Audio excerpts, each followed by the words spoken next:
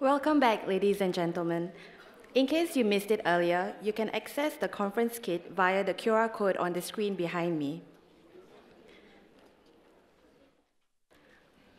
Earlier, you heard about the key trends and developments in digital inclusion. This panel will now look at practical examples of how the three Ps, the public, private, and people sectors, as well as academia, foster digital inclusion. There are three speakers for this panel, and each speaker has 15 minutes, after which we will have a Q&A session. The first speaker is Dr. Kwak Dong Kyun. Dr. Kwak is a media policy expert who has worked on many media issues such as pay TV competition, OTT videos, and vitalizing the video content industry. He believes that with proper public policies, digitalization is beneficial for everyone. Dr. Kwak, please. Hello, everyone.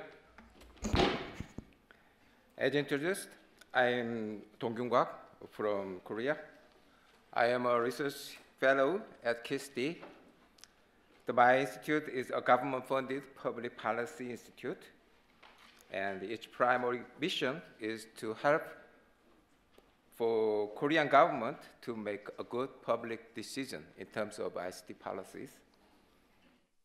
And I feel very honored to be here with you and in, in this meaningful global event and pleased to have these precious opportunities to share Korea's digitalization experience with you. And especially, I appreciate everyone who is involved in organizing this symposium. Today, my pre presentations briefly introduce Koreans' successful digitalization experience to you, Singaporeans, and who are also showing an awesome achievement in, the field, in this field. Here we go. My presentation consists of these four parts. Obviously, we have lots of talking points, but time constraints make me hurry, and my presentation seems to be a little bit too general without specific points. My presentation may sound at least to some of you, it's off the target. To, but please be patient until the conclusion. Let me start from the overview. As you see, Korea has very populated, highly populated uh, population density countries like you. And Korea has been the uh, number one countries for 13 continuous quarters in terms of average internet speed. And some of you, are, some of these factors sound familiar to you and some may not.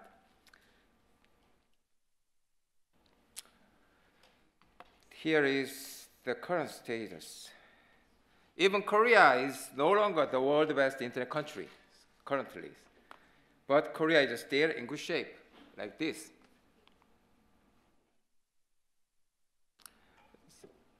So yeah, we are very good, in good shape in government, like you, and also OECD's ranked Korea's world's first open usable reusable, reusable government index, like this, and ITU also uh, put Korea as world number two in ICT development index like this. But in terms of digital inclusion, however, Korea is not a top rank at all, frankly speaking.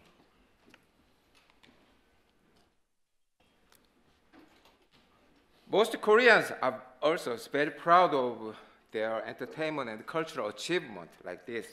I guess at least some of you enjoyed these Korean dramas and K-pops already. And the BTS uh, became the first Korean winner of a US Billboard Music Award last year. Let me focus on the Korean government's efforts toward information society.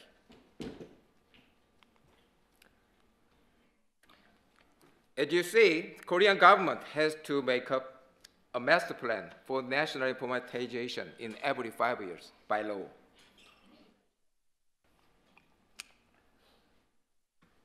The Korean journey toward building an advanced information societies began since in 1994. Establishing legal system and constructing nationally broadband network infrastructures was a primary goal in that period. Since 2003, the social informatization promotion began. It means every field, including government itself, was encouraged to be digitalized. Since 2008, the Korea began to connect every digitalized field and its digital resource. After 2013, convergence has been a dominant agenda. Currently, the intelligent informatization began. Some experts prefer to use the digital transformation in this stage.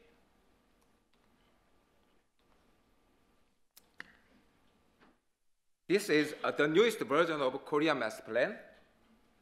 The, under the vision, the Korea to live well together with intelligence, we have these kind of the four policy goals. Building smart countries and economic rebounding, utilizing ICT technologies, and constructing a digitalized, trustworthy society and advancing toward intelligent infrastructure at these goals. You can see the meaning of these goals in the next slide. So, some of these, national digital transition with intelligence, and finding growth engines with digital innovation, and creating people-centered intelligent information society, which is closely related to digital inclusion itself and establishing a foundation for the trust-based intelligence. So the detailed plans you can find here. If you are interested in a more detailed explanation, please feel free to contact me later. But I believe that some of these plans don't look strange to you. They That is very familiar to you. I believe that. And as a third thrusters, we have three, these, and we are familiar realizing digital inclusions are included as one of the, our action plans.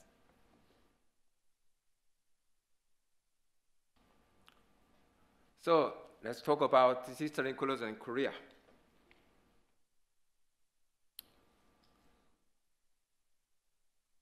As you see, the reducing or minimizing discrimination is essential, as you see in, the, in this action plans.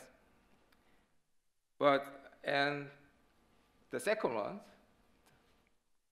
the vulnerable class.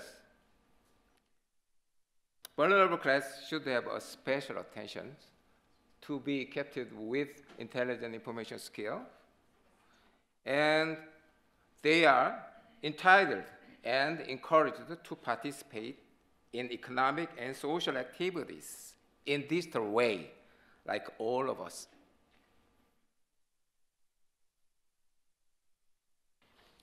So here is some brief comparisons between Korea and your countries. As you see in this slide, digital inclusion looks very similar in both countries.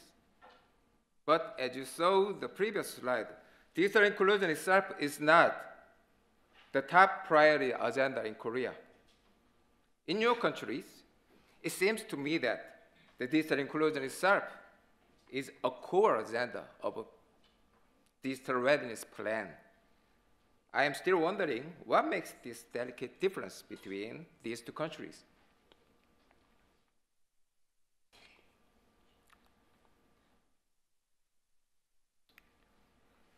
Obviously, digital uh, inclusion is one of Korean government's goal for intelligent informatization, but doesn't look as a top tier goal to my government.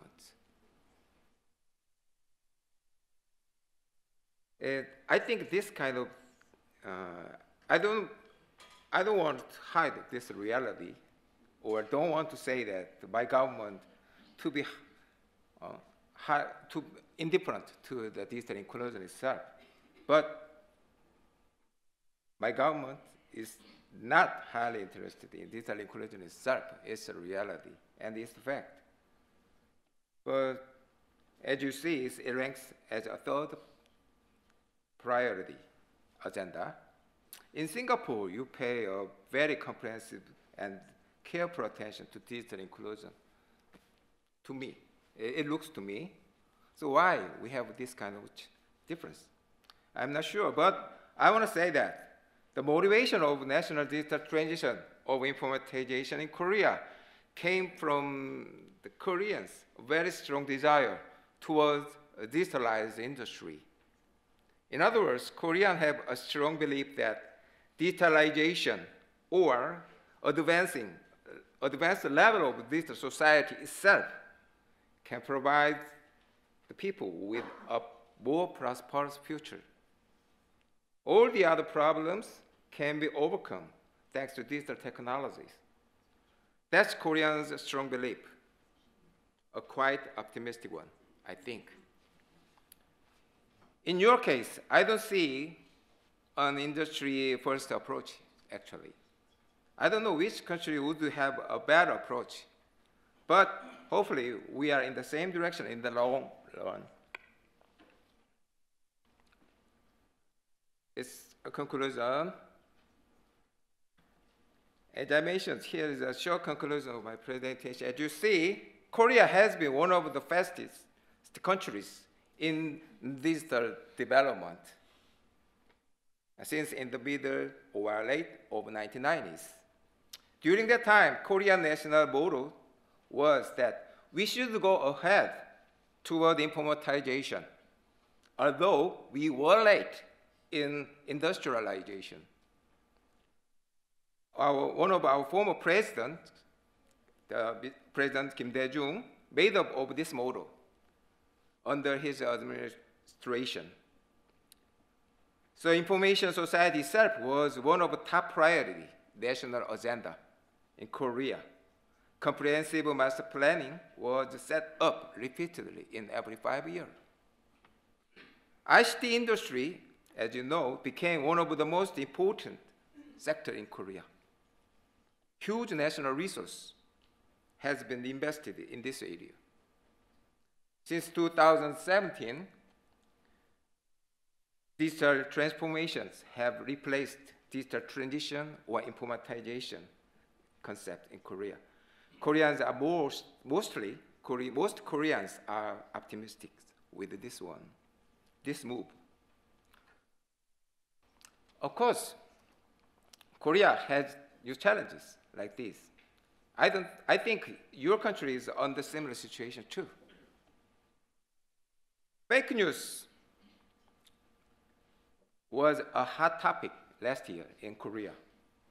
The vulnerable class is more vulnerable to this fake news, as you know. Some believe that digital literacy could be a good remedy for this problem, but others prefer legal enforcement to this indirect, uh, prefers legal enforcement to this indirect solution. Debate is still going on in Korea. Unemployment, digital un unemployment is also a problem. Unemployment causes serious headaches to top decision makers in Korea. AI and machine would replace human labors, someone says.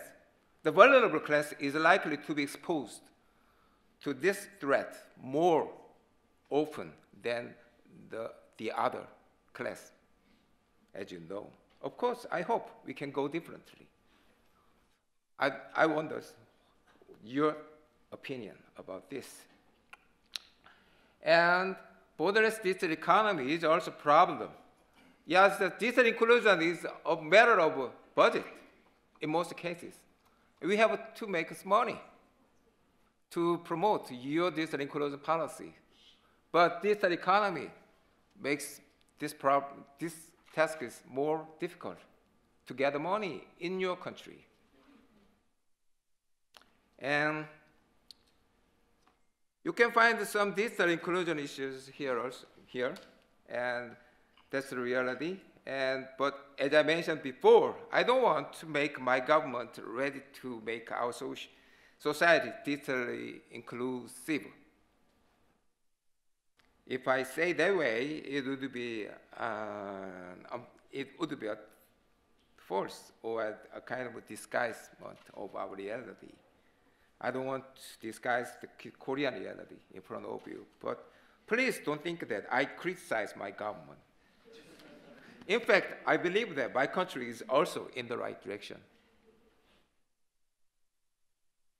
Finally, government pro governance problems came out here. Without which government body should have final responsibility for the, the intelligent information society?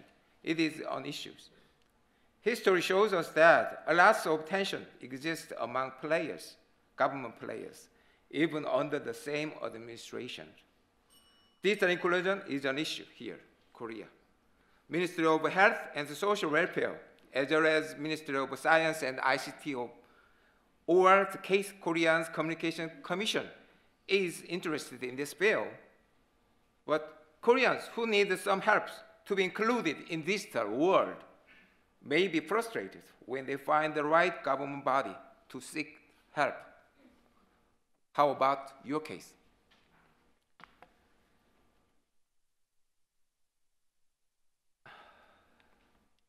This is my short presentations. If, if you have any questions, please feel free to contact me with this email address. I will try to my best to answer the best, to provide you a best answer. Thank you for listening. Bye.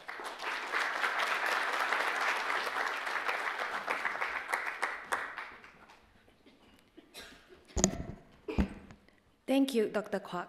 The next speaker is Mr. Lien Choong Luen. He is the Singapore head for Gojek, an Indonesian ride-hailing service that has since grown into a super app. In his spare time, he goes on challenging vacations and has submitted Mount Everest and K2. Let's welcome Mr. Lien.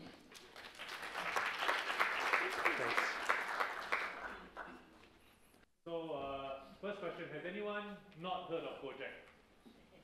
I got a few, so good. I will come and personally, I'll come and personally help you later. Um, second, do we have any Indonesians in the audience? So, okay, two Indonesians. Anyone that frequently goes to Indonesia?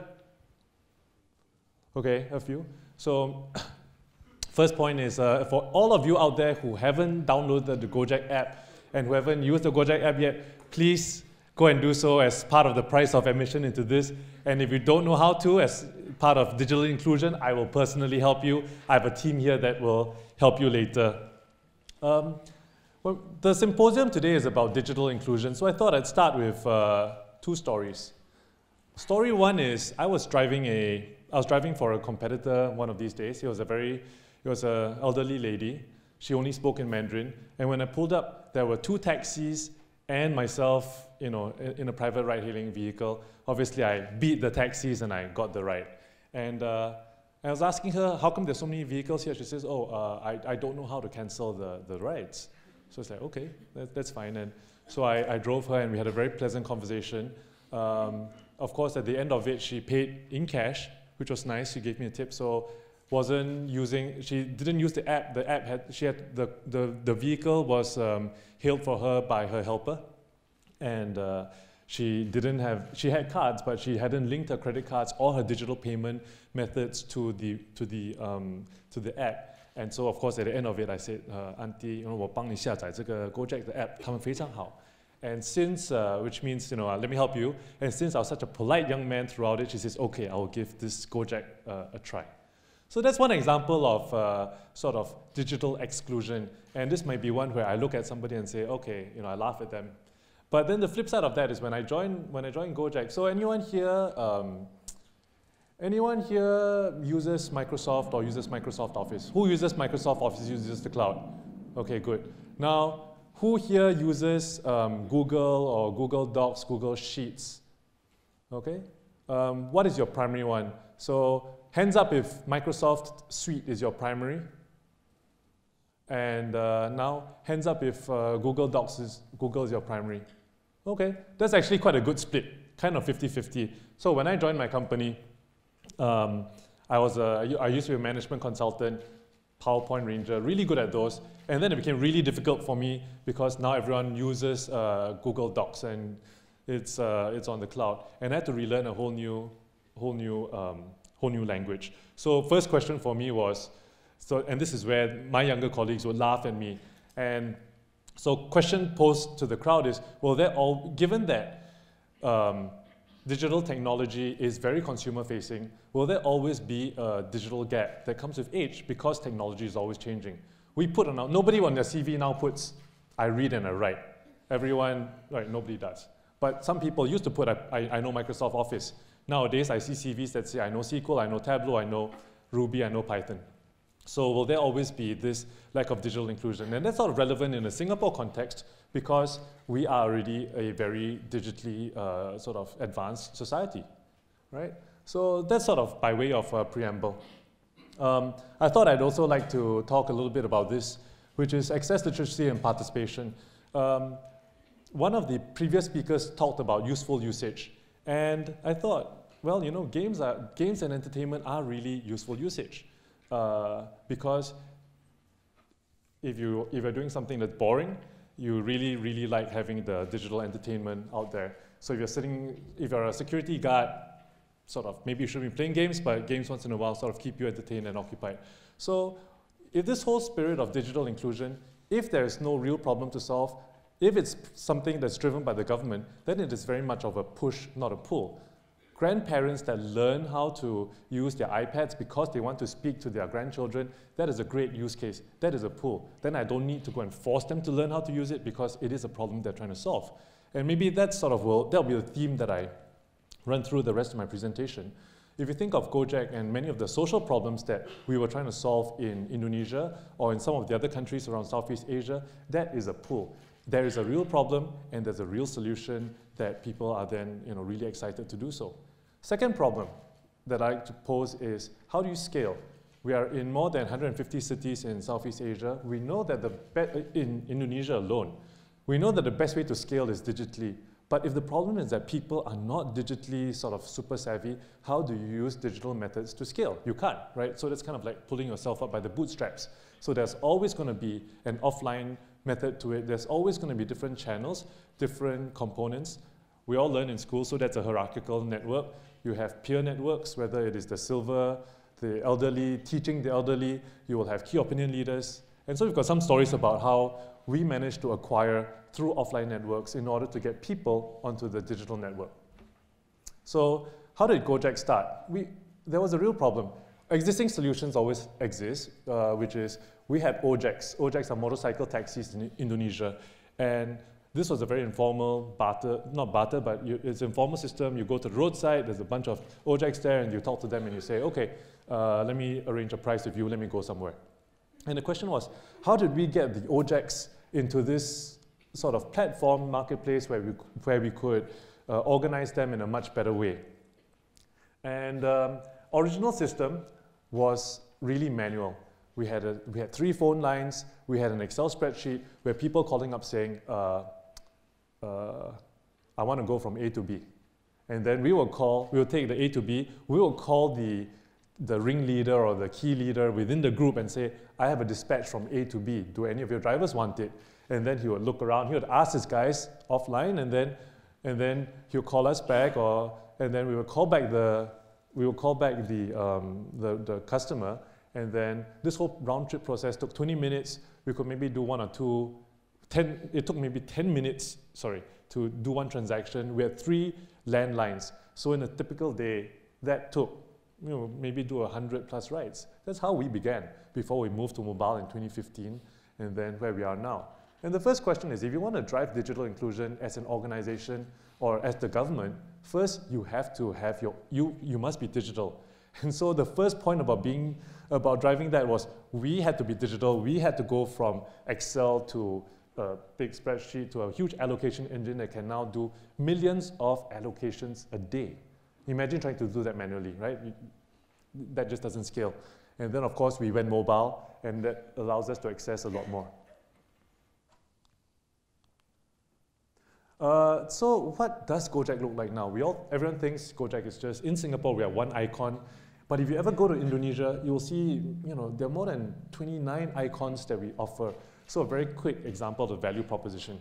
In the morning, we send you to work. At lunchtime, we send you your meals. In the afternoon, we send you your laundry. We'll send you your parcels. In the evening, we take you home. And if you're tired, or you need your hair done, or you need your nails done, we will send you a Go Glam, we'll send you a hairdresser, and then that will go straight to your house. And as an example, I don't know if any of, well, there's some quite glamorous, I won't call out names of friends who look very glamorous here, but they're very glamorous people. And there was a DBS private banker who said, you know, uh, she had to go to the airport, she was late, so she called two Gojeks, one for herself, one for her luggage, and she made it there on time. During that trip, she had a big event to go to. Her hair was a mess. Of course, she's a very glamorous lady, so she said, I can't go off my hair like this. She called in a hairdresser who did her hair for her and it's perfect. So the benefits to the consumer is tremendous. If you think of the minutes saved, we think of the convenience, if we think of access to opportunities. So one big impact is on the consumer side. Now we've taken the model around Southeast Asia, maybe for, for the crowd here uh, really also to understand that Southeast Asia isn't, the same. I think a lot of Singaporeans have a view of we build here and then we deploy and distribute in Southeast Asia with a sense of Southeast Asia maybe uh, being a little bit less, a little bit more backward. So possibly, possibly true in terms of some of the metrics, but I'd say let's approach that with respect and with a lot more context. Uh, motorcycle taxis, we do motorcycle taxis in Thailand, in Vietnam, in Indonesia. They are very different in all of these places, which we can talk about later. Um, so these are some of the pain points. So at first I talked about Digital inclusion is part of why do we want digital inclusion? Digital inclusion is maybe sort of a subset of te technological inclusion. And technological inclusion is a subset of broader social inclusion. And why do we want inclusion? Inclusion is really about access to opportunities, whether it's earning opportunities or uh, education opportunities or information opportunities, right? Inclusion means access to opportunities. Your start point then really is what differentiates between um, Singapore, what, what does it mean to be digitally included in Singapore? Does that mean that you know how to code and you know, use JavaScript? Whereas in other places, it might be the access, uh, question that we talked about. Um, so right now, there are three sort of, there, there may be three levels of, three levels of uh, the Gojek platform. Version one was moving people to places and moving things to people. That's version one. Version 2 was then wrapping that around payments. Most large parts of Indonesia is unbanked. The instant you're unbanked, uh, which most people here can't understand, right? Unbanked means no wallet. Unbanked means no saving history. Unbanked means I can't put money in, in, in, in and sort of use that for, for later. Uh, so second version was actually V2 or the second layer was really to wrap around wallets which then can give you savings, which can give you loans, payments, credit, and all other financial services. Then level three is movement of um, digital services, which could be consumption of entertainment, tickets, media, so on and so forth. But this is our ecosystem, right? So uh, this is the benefit to the consumer, all the different things that we can do now. Um, we didn't really think about trying, uh, well, there's a lot of consumer acquisition in terms of um, getting them onto the platform. But once you're in the platform and you see access to all of these other services seamlessly, if I take a Gojek ride and I want Gojek food, you know, I mean, that is all within one ecosystem. And that actually, that, that facilitation, that ease is really what, that is the work that sort of uh, customer-facing companies need to deal with. And for maybe private sector, public sector folk trying to think about digital inclusion, what is that ease and what is that use case that you're trying to solve? So this is sort of around the, around the clock, all the different services that one can consume on the Gojek platform and the impact that was driven as a result of that. Digital services subsequently, whether it is news, entertainment, insurance, games, uh, medicine, telemedicine, e-commerce, all of that is available. Um, so we talked about the three parts. We've got the consumers, the users, we've got our drivers, and then we've got our merchants. I talked a little bit about the users. Maybe move to the um, drivers. This is the driver ecosystem. The driver ecosystem is, this is what they'll see. They get orders. We allow then with the payments um, stack or payments layer, it allows them to actually save, save for the Hajj, um, get loans, get financing, and then access new merchants. So here I'll tell a story, two stories. One is when our drivers were delivering food, uh, it, was, it, was, it was difficult because there was some, first, smartphones were not a thing. So we actually provided the tools. We gave them Android, cheap Android smartphones so that they could actually use it, right? So that's, that's one. Second, we obviously held big classes. So there's a big offline component to recruiting them, giving them phones, teaching them how to use it. Had to teach them to get over the fear of being in an escalator, uh, in an elevator. Imagine if you never used an elevator, you step in a confined, confined room, confined space. It's, that can be a little bit worry, worrying. Um, in some of our smaller cities, we actually have uh, one of my colleagues had to go there and win over the local driver union. And in order to win over the union, if anyone has been, you know, I, have done some training with the Indonesian Special Forces. They're a very gung ho macho gang. And so my friend, this colleague of mine, had to go there where there were, he had to take a big python, wrap it around himself. It was in the rain. There was a ritual with knife and, you know, but I mean, it shows respect. So I think in all this, if you demonstrate the respect, then you can, it, it's, a, it's a trite point, but it is important that let's not nag, right? Let's not nag and let's not push. If there is a real pull factor, if there's a real need, and if there's respect, it's quite easy to win people over. And so because there's a real need, I think that the number is that we have millions of transactions. So more than a million uh, riders are, drivers are actually employed on the, or use the Gojek platform and earn on the Gojek platform.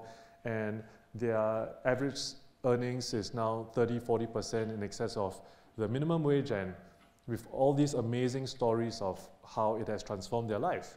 So this is for the, this is for the, for the drivers. I've got some nice videos about that, but you know, we can show that later. So if you see this, uh, one and a half times the minimum wage, they can now save and, and then after that they can think about what, they can think about the future, right? So it has provided them, the inclusion has afforded them earning opportunities which then allow them to save, earn, and sort of think about the longer term.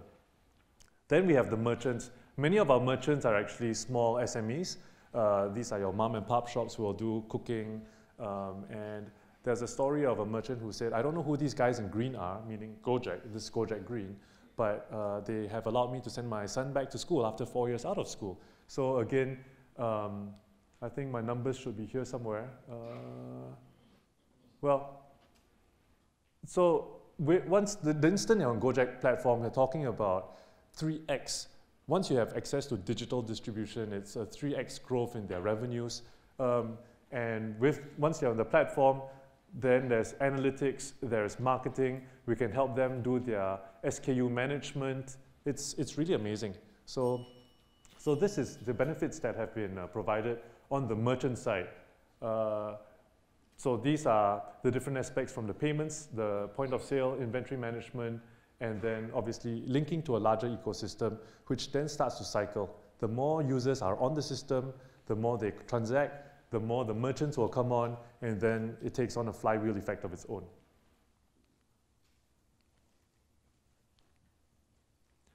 Uh, maybe just close with a few stories about Gojek and Gojek Singapore. There is huge social impact. We've got many stories of drivers.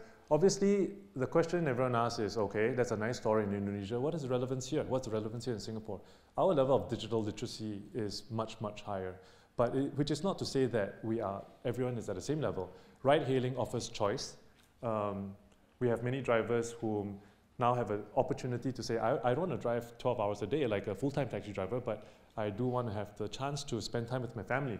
So that is what ride-hailing offers here. Um, we have uh, done more than 10 million rides in Singapore in the first six months, so really proud of that. If you think of um, the back-end benefits, which we do, a lot of these are digitally mediated. One of the things we realized is that for a ride-hailing operator, even if you're much older, the mindset of saying, I take my jobs from an app. I do telemedicine consult, so I don't need to see a doctor. Uh, I don't need to wait two hours in a waiting room, but I can get my medicine delivered to me. The fact that a lot of their uh, earnings are actually on a screen and there's no need for physical cash, that is a real mindset shift as comp compared to some of the older generation of riders who may, drivers who may say, I want to pick up passengers by the roadside, I don't really trust an app. So even here, we have managed to sort of win over drivers. Um, a little bit is self-selected, a little bit is education, and uh, so this is the presence that we have here. And even at the very high end, there's a data science team that helps make um, these decisions and these choices much easier for the, for the marketplace. So uh, that's sort of the overall Gojek story and what we are doing in Singapore and how we are helping drive digital inclusion, which leads to overall social inclusion and earning opportunities. Thank you.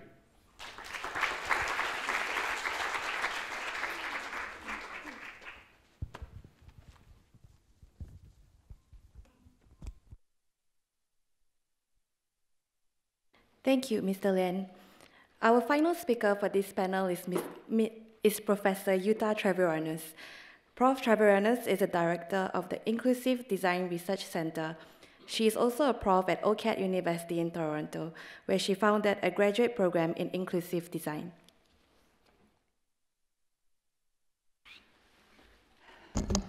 Thank you. And um, I want to say first off, I'm a senior citizen, so I think I have a longer view of digital inclusion and this digital revolution. And uh, I try, uh, um, they say that with age comes wisdom, and I think that comes more from having made many mistakes. So I'm going to give you some of the wisdom from the many mistakes that I've made. Um, my talk is about inclusive design and the design by or inclusion by design component of the framework that we heard about. And first of all, I want to thank you for inviting me to Singapore and wishing you a, a happy birthday. Um, I'm unfortunately not here for your birthday, but I'm here for parts of the original celebrations. And I understand that in Singapore, um, there is an aspiration to lead the fourth industrial revolution. And of course, um, the words that are frequently used are the aspirations and values of the fourth industrial revolution is transformation, innovation, disruption, and smart nation.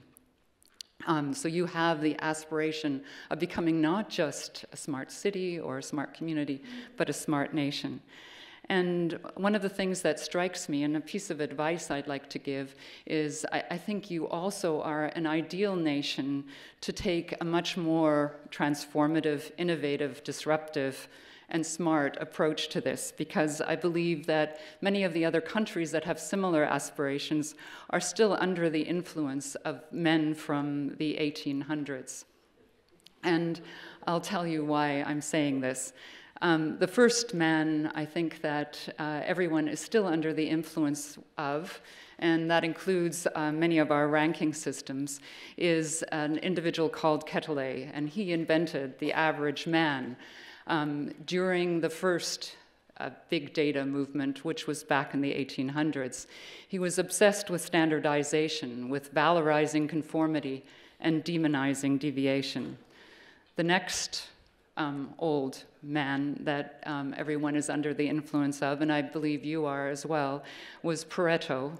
And he came up with the 80 20 principle and this notion that if you want quick wins, if you want um, to get rich quick, then just ignore the difficult 20% that take up 80% of the effort and focus on the 80% that take up 20% of the effort. The other um, older white man that everyone is under the influence of still is not necessarily Darwin, but our interpretation of Darwinism, where, where uh, what we've taken from Darwin is this idea of survival of the fittest. Life is a winner takes all zero sum game. Um, we want to beat uh, Sweden or whatever, and only the, the fit will survive. Of course, um, that wasn't really Darwin's message, but um, I'll say more about that. And the last uh, person, and of course there probably are many more, during that first big data revolution was Dewey. And this is not um, John Dewey, but Melvil Dewey. And he was very much about efficiency, order, and control. He came up with the Dewey Decimal System, which you use in your libraries. So his idea was that everything needed to be sorted, categorized, and labeled. And of course, many of the ways that people were labeled or categorized was somewhat biased. And he was so uh, enamored of efficiency that he actually changed his last name to Dui um, because he felt that the spelling was inefficient.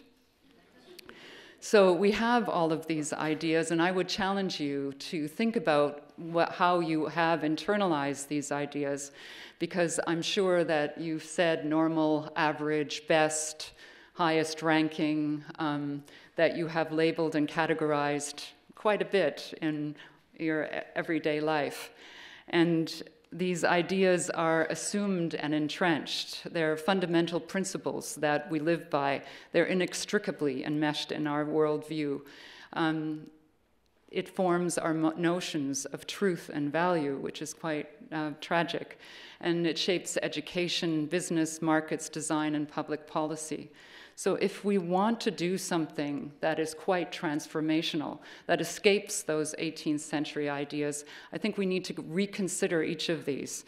In terms of Darwinism, it, what we've discovered is that uh, when humans advanced, when humans formed language, when we formed any of the really um, uh, forward thinking, new abilities, it was actually when there was a relaxation of natural selection, because that's when we had genetic choice. And that led to the human advances. Predators are less adaptive. Um, it is in fact the case that when we allow diversity to happen, that we form new abilities and we advance. When we think about Quetelet, there is quite a bit of research and writing about uh, the fact that there is actually no average man. There's no average you. Um, so don't go to typing yourself, your color, your, your um, star sign, etc., because you change whatever context you are, whatever goal you are um, trying to achieve, and whatever social structure you are. We're all very unique and we're all very variable. Diversity, in fact, is an asset, and monocultures won't survive. Um, I would encourage you to read the work of, of Scott Page, who talks about the diversity bonus. Um, when we have diversity, not when we have monocultures, are we able to uh, be more resilient and move forward.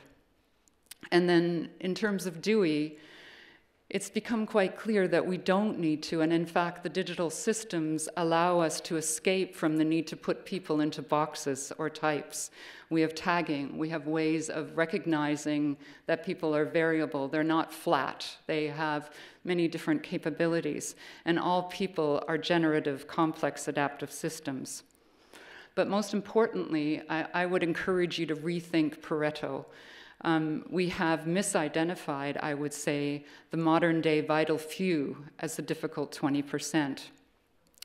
What happened, or how um, Pareto came to his 80 20 rule, was he uh, noticed that 80% of the land in Italy was used uh, to or was owned by 20% of the population. And so he told the rulers think about the vital few the 20%. And what I would say is that the vital few in this age, if we're not thinking about greed or quick wins, are actually a different group. And I'll talk more about that. And how I came to this realization, um, well, I'm going to tell you a quick story as well. Many of our speakers have told stories because it, it relates to smart systems. And the next uh, stage that we are, as a smart nation, you're certainly thinking quite a bit about smart systems. And this um, comes from a consultation with our Ministry of Transport, which had its 100th anniversary and wanted to know how to deal with connected and uh, automatic vehicles. And I thought I would try out the learning models, and I uh, tried to see how the learning models would react to something unexpected and unusual. So what I did was I fed the learning models a model of my uh, friends who move in a very unexpected way. They push their wheelchairs through the junction backwards. And um, many people that encounter them in the intersection will grab them and push them back onto the sidewalk. Um, what happened was all of the learning models that were to guide cars, tell them to stop, move, change direction, or proceed, chose to run this person over.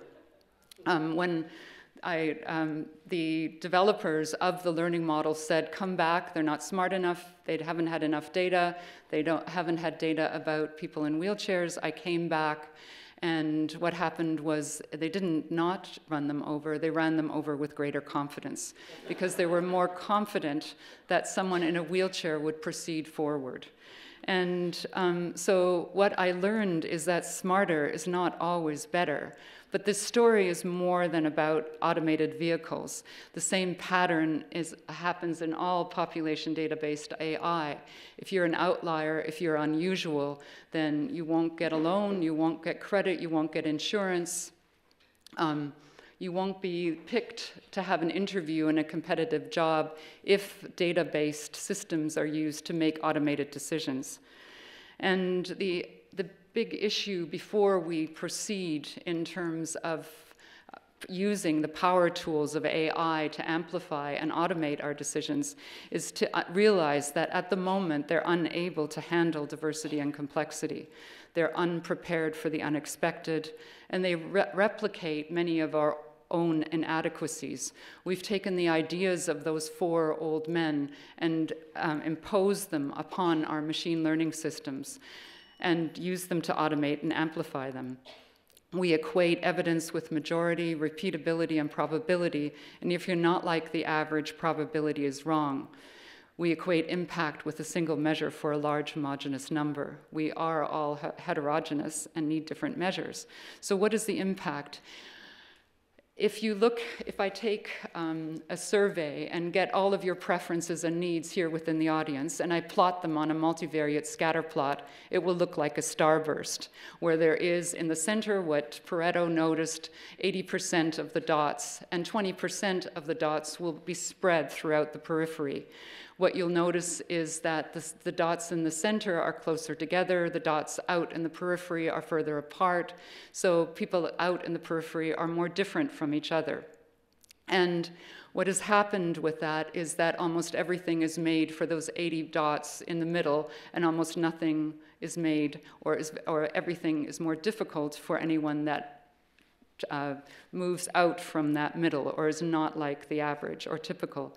And this happens with design, it happens with being online, it happens with our knowledge, it happens with education, with work, and even with democracy, where majority rules. And if you're the minority, then it's less likely um, that someone will be elected who's interested in your interests but it is also not very good for the general population because what it's resulted in is mass production, mass communication, mass marketing, and the popularity push and the popularity addiction that has resulted. And it means that we have less innovation um, because who are the real vital few. And I would argue to you is if our goal is not greed, quick wins, or gaming the system, but innovation, diverse perspectives, detecting weak signals, the difficult 20% that occupy 80% of the unexplored terrain are in fact the vital few. That's where you find the innovation, that's where you find the weak signals.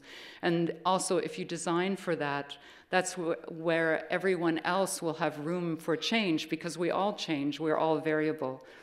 In our country and in the US, there's a lot of talk about the polar landing, Apollo, uh, the Apollo landing, the moonshot. And I would suggest that you have the cap capability to to actually explore the next frontier. And the next frontier is that 80% of the knowledge domain and technical domain that nobody else has explored. So how? Um, I'm supposed to give you practical advice. You can't give instructions for a moonshot in 15 minutes. But what I would say is that we have all the resources online and all of our work at the IDRC is open source, open access, open standards, and open data. And we employ something called the three dimensions of inclusive design, recognize that we're all very, very unique, and we need to make people smarter about what they need, not just machines smarter in an integrated way. We need to make sure that we co-design, that we make the process of design accessible to everyone, and we need to uh, create systems that provide benefit for all, because we are living in a complex adaptive system that is our world. And uh, we have, uh, and you can, there are uh, links to many of our instructions for smart communities and possibly nations as well. And lastly, what I would say, because of course money is said to make the world go round, um, the question is often, isn't this more costly? But what we've discovered is that cost over time and longevity benefit from taking the view of the full 100%, considering those difficult 80% right from the beginning. It may take a little bit more time, it may take um, a little bit more effort at the beginning, but your system will have greater longevity. There will be less training, less bug fixing. You won't have to create patches and hacks, um, and your system will be much more flexible because what the intention to, is to design the system in such a way that it is adaptive and um, just as a quick cliff notes, this is my advice to you. Don't ignore the difficult 20%. They're the vital few. Don't design for the average, design with the edge. Don't just design for your customer client base, design with people that have difficulty with or can't use your system. They'll bring the innovation, not the complacent individuals that already know how to use the system. And don't do it as an afterthought, do it from the start. And I would challenge you to view disability as a mismatch. Um, I understand there's only 3% uh, people in um, Singapore that are recognized as having a disability, but we view disability as a mismatch between the needs of the individual and the product, service, experience, or environment offered. And um, anyone, therefore, can uh, experience a disability. And I'm going to very quickly, I understand that I'm out of time, but I'll tell you just one quick thing. Um, this is uh, Ask Me About My Lawnmower of Justice, which is my approach to the automated vehicles. And uh, the conclusion intelligence that understands, recognizes, and serves diversity is better able to respond to the unexpected, detect risk, adapt to change, transfer to new contexts. It has greater longevity, may reduce disparity, and may lift us out of our current ruts. And in addition to being a senior, I'm also a professor, so here are, is your reading list um, where you can get further advice. And like our other speakers, I would love to continue the conversation.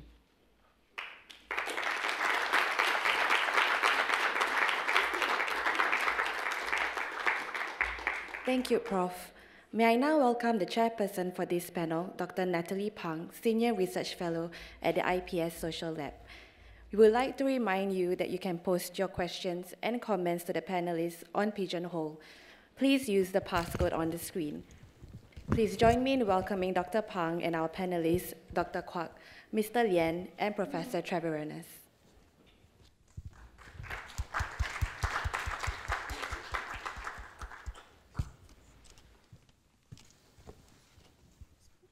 Um, can we have the pigeonhole slide back? Yes, yes. Um, so I'll leave you to uh, collect your questions. I want to thank all our panelists and speakers uh, who gave us three very wonderful presentations. Um, Dr. Kwak, you talked about Korean governments and their strategies towards digital inclusion, uh, particularly you know the challenges that um, um, in the Korean context you are facing. And uh, Mr. Lien, you talked about, uh, you know, from the private perspective, Gojek. I really like your point about push and pull and the importance of motivations and gratifications um, in doing this. And Prof. Jutta, I want to thank you for challenging our fundamental um, the ways and language we think about digital inclusions and what some of these um, um design prin principles we can consider. So I have uh, actually, uh, oh, the questions are streaming in. Um, I think, uh, I, I, guess one of the questions um, I think uh, for um, uh, Dr. Kwak is that I guess because there's a lot of, uh, I think the Korean government um, have been doing this uh, for a long time, right? Um, what are some of the regulations regarding privacy, access, and ownership of digital records? Um, and uh, for Mr. Um, Um, uh, there is a kind of a question that alludes to the question of algorithms. Um, specifically, it's about, I guess, how prices are, are computed, and I guess on that note, you know, um, to what extent do uh, the drivers and the commuters actually understand this and be able to um, uh, use uh, Gojek services with that understanding? Um, and uh, for uh, Prof. Jutta, uh, you talked about how we might measure differently um, and I, I, guess one question that I have is uh, what kind of different measures uh, can we consider um, when we talk about uh, digital inclusion and um, um, say five, ten years down the road, how do we measure, you know, how well we have done as a society?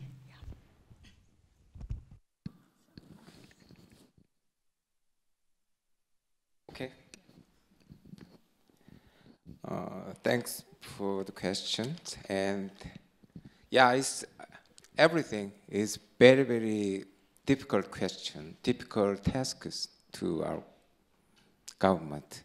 The, private, the piracy or the, the protecting privacy or the protecting data itself is not simple questions. And I think you also, you, your country also has this kind of uh, trouble. Uh,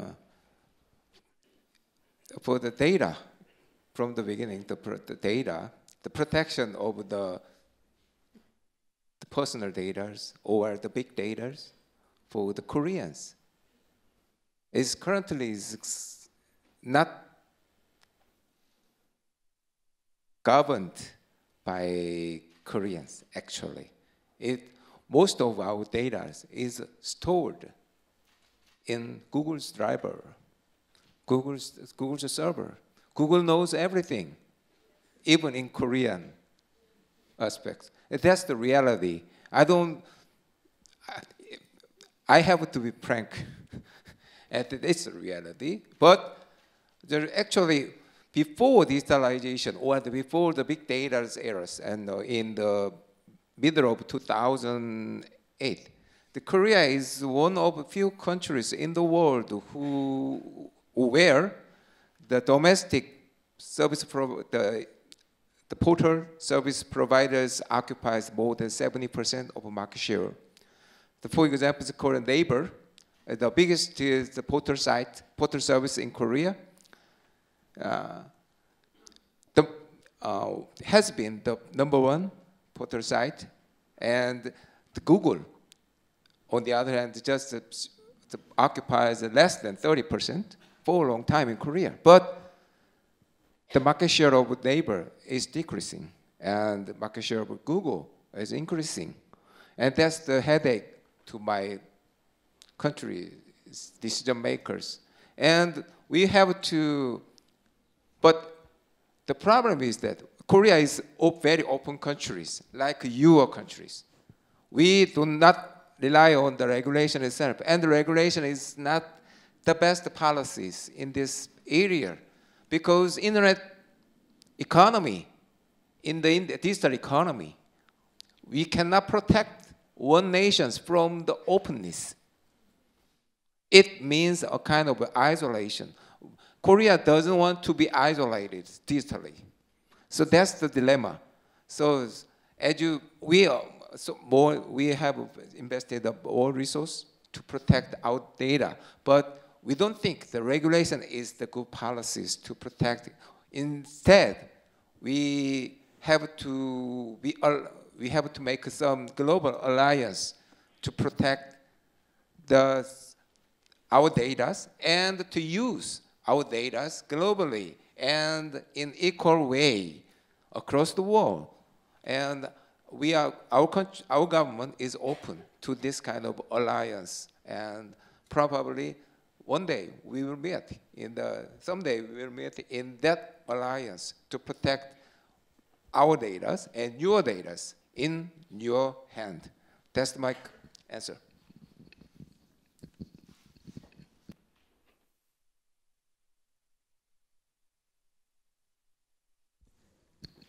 Okay, great. Sorry.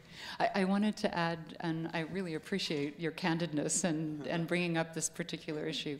We've also been struggling with data because, as um, you mentioned, and the vulnerable populations are more, much more um, vulnerable to data abuse, data misuse, fraudulent sales, etc. So uh, one of the things that we've been working on is a ISO standard that uh, um, applies to the binary terms of service agreement, where everybody supposedly gives informed consent to the use of their data in whatever way you want. I wonder how many people here in the audience have actually read the terms before they click I agree um, to, so they can use the service. It's very rare. So one of the things that we're working on is a way for the individual to declare um, who they trust with their data, for, uh, for, what purpose, under what conditions, and then for the service provider that wishes to obtain the data to declare in a transparent and auditable way what is essential data, and then it becomes a negotiation. So it isn't just, I give away all my data um, in such a way that anybody can do anything with it, but rather it is a contract for a specific part and for the purposes of the service. Oh, they, uh, I, okay, sure. so the, the um, uh, metrics was and alternative ways of measuring. Well, um, I, I wrote a blog that says if you are unique and aren't we all, uh, numbers are not our friends. Um, at the whenever we have metrics and even when we have ranking, uh, one of the things that we found certainly in we've done studies of education systems with ranking in the U.S. And ranking systems tend to mean that you abandon the difficult 20% that actually uh, cause most of the innovation and the forward um, thinking. And because you're trying to uh, win and you don't want to spend your effort on the difficult 20%. It also um, means that lots of people are gaming the system, so ranking systems frequently don't work. Um, but the, the um, efforts that have been looking at alternatives include uh, small, thick data efforts. So we've talked a lot about big data. You've probably heard about big data. You may not have heard about small data. But small data is the notion of bottom-up data. So data about an individual. And the place where it first emerged was in medicine because one of the things that's happening in medicine is if you misapply data, if you take data about that mythical average person and you apply it to somebody that's not average, then they're going to get very sick and they're going to die. And so um, medicine has had to look at alternatives, and so they are looking at ways in which to actually use data to customize a medicine to the individual and not take away the context. Because um, what happens often and uh, where you have issues is that um, the studies that show what medicine works best have done it in a clean lab. And does anybody here live in a clean lab?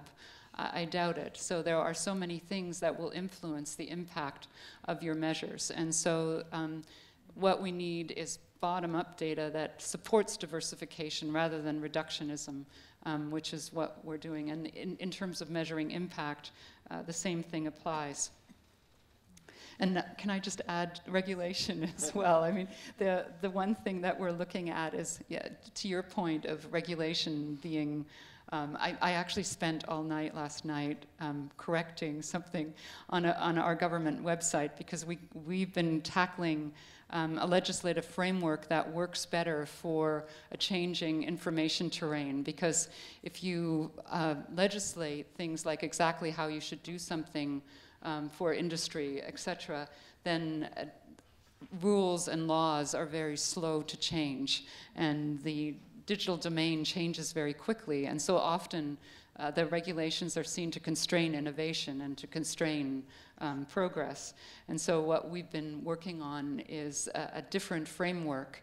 Um, and if you look up AODA, um, we, we are um, creating a more participatory framework where there is the encouragement to actually innovate. Uh, we call it from uh, obligation to innovation or to participation. Uh, and uh, so that if anyone is considering writing regulatory frameworks, uh, I, I have lots of advice on that.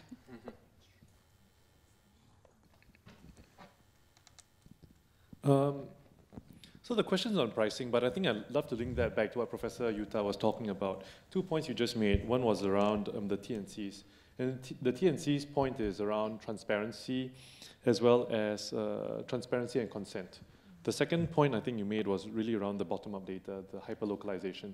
And if we think about pricing, actually, pricing the, uh, uh, the pricing mechanism that we use now actually does try to fulfill some of these, which is, um, I think the original motivation of the questions around, I don't understand, or as a writer, I may not understand the inputs into the pricing, which, which is fair. I think in the old days, uh, those who are sort of my age or older will remember taking a taxi and you know that there's midnight surcharge. And then after a while, in order to get a pricing mechanism that was more responsive to, uh, to the market needs and to, to the environment and the conditions, we, the taxi company started to stack on more and more surcharges. And for a driver, for a passenger who didn't know what the end price would be, then you would start to have a lot of complexity around okay, is it after midnight? Is it before midnight? And it got pretty complicated after a while. And so the question on pricing and pricing transparency, I think not everyone, even nowadays, would look at what goes into the pricing component. But the good thing is that when you click, you actually have a price that you agree to. So there's transparency of the outcome, right? That, then this is where your TNCs, you agree to this price. It is an agreed upon price. You may not know, know the full inputs. You can if you want to, but you don't really worry about it. You just know that there's an output. The second point is about the fact that the prices are dynamic, that there is that hyperlocalization because prices ultimately reflect the local supply and demand. The classic example, if it's raining, then there are more people that want to take a ride, and then there'll probably be less drivers available, so this is how the pricing adjusts. Um, some of the questions around pricing may refer to what used to happen in the old days under you know, with uh, different companies. And when the industry was young, let's just say, when the industry was young, I think some of the pricing could have been pretty extreme. We don't see that anymore. So things evolve, systems evolve, industries evolve, pricing algorithms evolve. So, but I really like the underlying point of uh, contextual clarity, of um, pre-agreement transparency, and the hyperlocalization. Thank you. Um, I want to turn to some of the burning questions that's coming up here.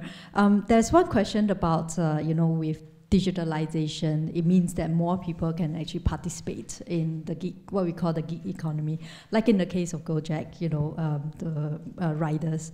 So there is, I guess, uh, we, and we've heard stories about how um, people who participate in the gig economy, they're not um, uh, because they're not classified as full-time employees, they may be um, denied employment welfare and ben benefits and so on. So, um, so the question is like, how can this be solved? Um, yeah.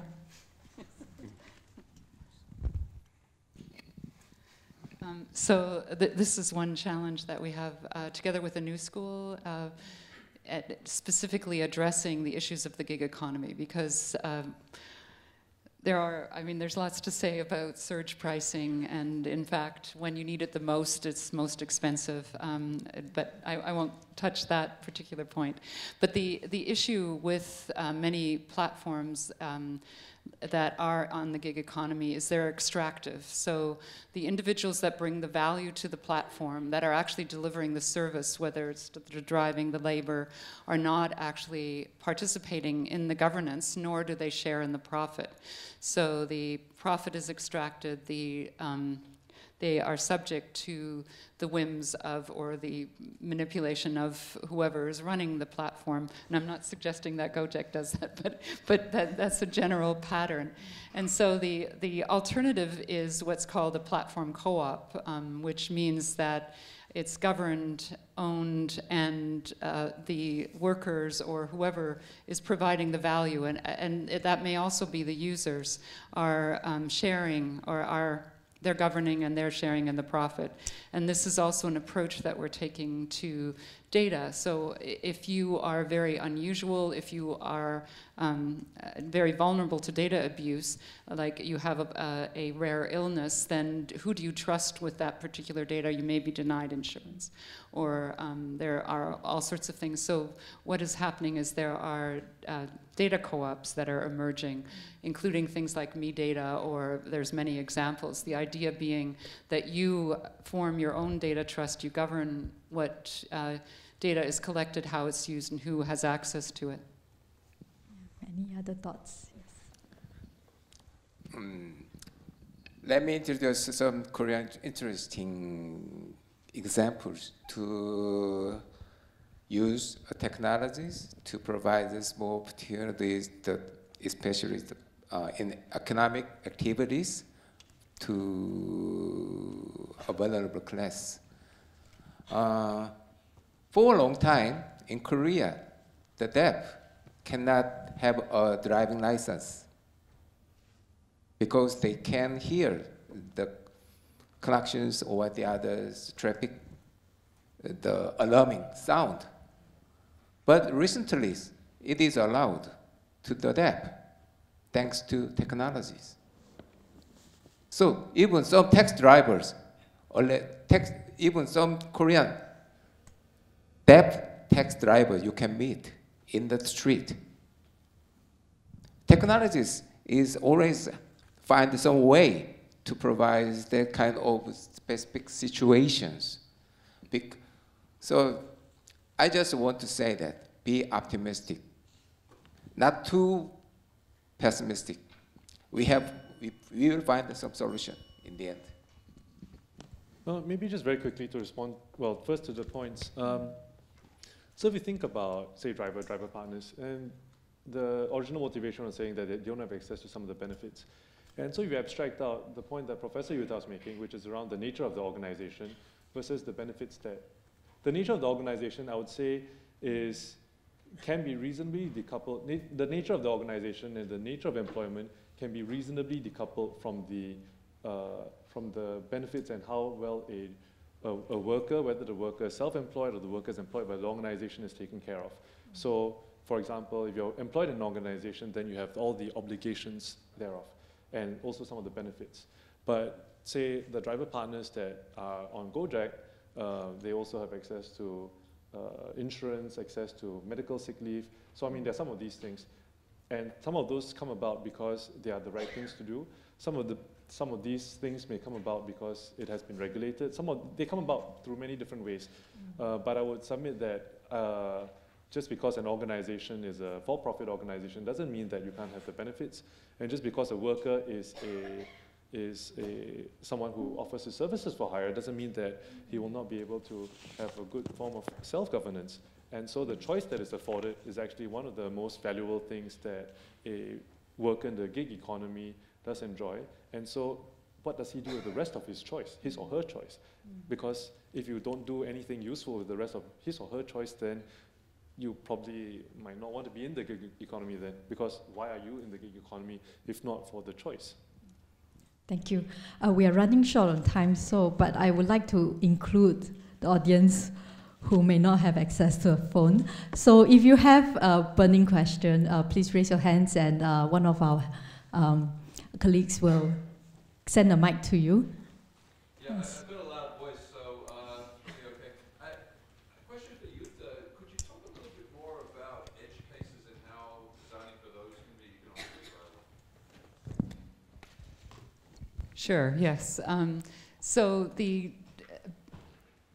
the, a, the, so the, the main point that I'm trying to make is, uh, or the main point that has been made and has been proven um, time and time again. Actually, I, will refer to something that some of you may have heard of, and that is the electronic curb cut or the digital curb cut.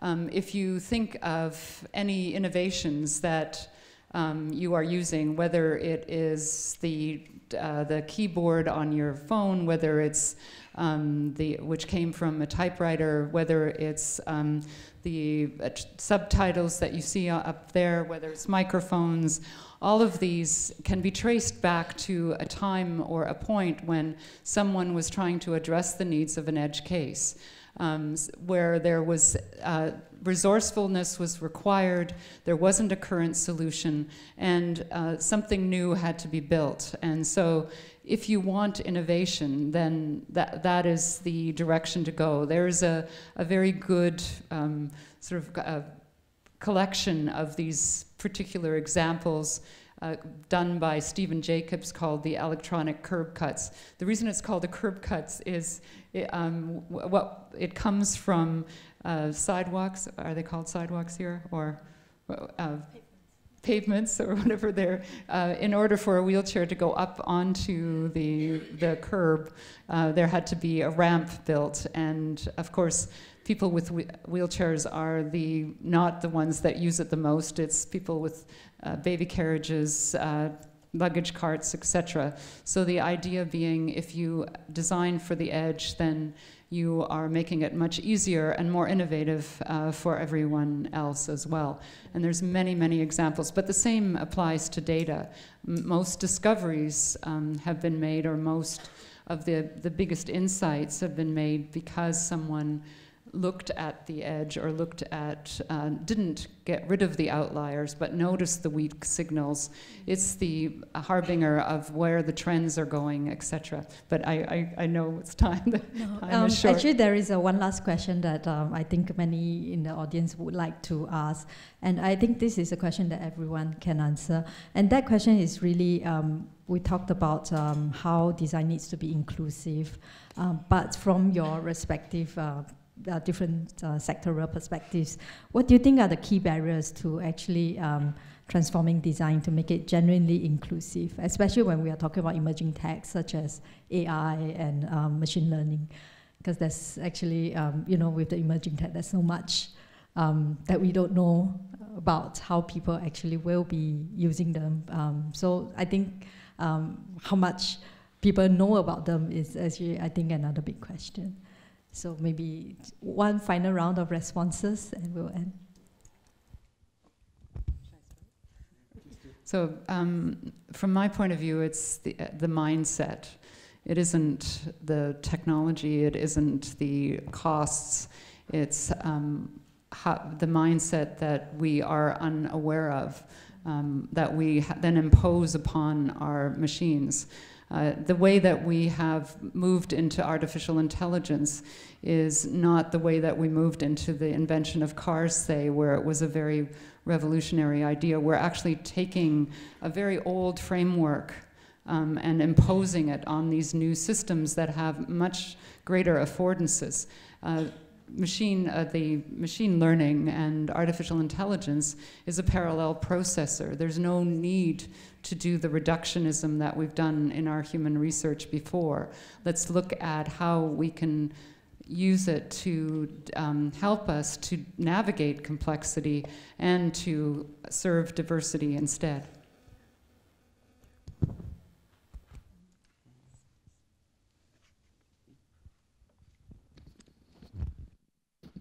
Mm, I agree with mindset is most important things from the beginning, uh, but I don't want to, the, deny the possibility that sometimes, at least some in some circumstances, we have to be a little bit more aggressive to adopt new technologies or to do the systems. So, for example, so the market economy is not working in the all the in always in the right direction, as you know. But in most cases, it works. It works. The history says it works.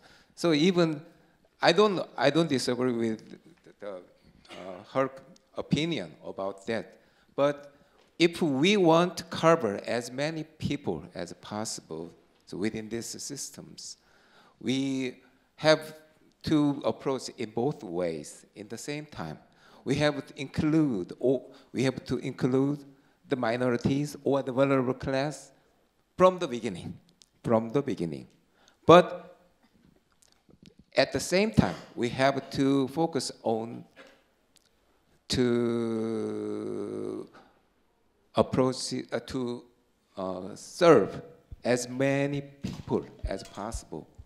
It's, it is the same. It, it, this kind of it's a very hard, very difficult task, but anything, anyone cannot be abandoned by from the policy maker's perspective. That's the, my point.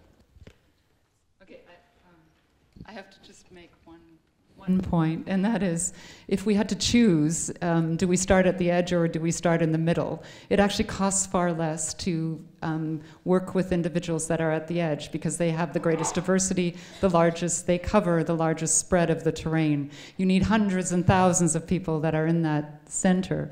So if we are worried about cost, if we're worried about time, um, start at the edge rather than the middle. okay, um, Mr. Lien? Maybe I'll offer a slightly different interpretation to that, which is um, it's useful, it's good in principle to say start at the edge, and it's also very good in principle to say let's start with a long-term perspective of what the solution is. But very often, precisely the curb cut example you provided, very often we may not realize we didn't design for PMDs in Singapore.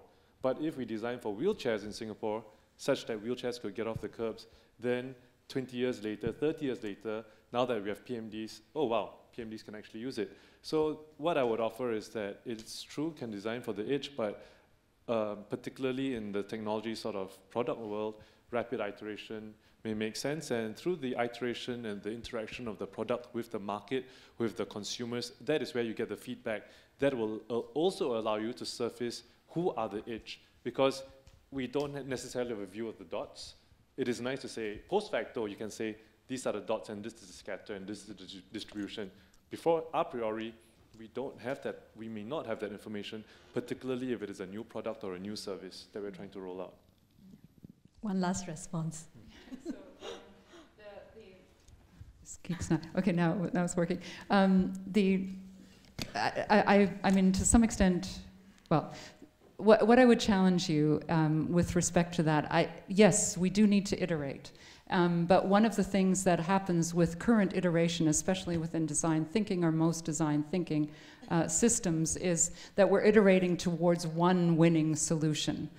But in fact, if we think of our, um, the systems that we're innovating or the services or products, then uh, not as a product or uh, one widget or gadget, but as a system as a whole, an ecosystem, because most of these are complex adaptive systems, then in what we should be doing is iterating to include more and more, not towards one winning system. We create a much more flexible, adaptive uh, tool or environment policy. Or, um, so we can, yes, use iteration, but iteration to include more as opposed to the winning solution.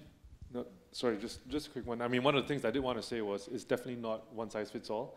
But then if you think of sort of commercial business ecosystems that by nature of trying to be an ecosystem, then you have to be inclusive. But I mean, definitely agree that then it, it is not one size fits all. If you even think of the app that we have, um, different users come on for different reasons and we don't expect that they all use the same service or use that service every day. But the bigger the surface area is of capture, then you can get and serve more people. Yeah. So on that note, um, I'd like to uh, thank our panelists. I think we can, I can safely say that there's no one in the middle in this panel. Everyone is very diverse. And um, because there are more questions uh, than we have time for, please, uh, I encourage uh, all of you who have uh, posted questions, please approach our speakers and engage them talk to them during the break. Um, thank you very much. Please join me in thanking our speakers.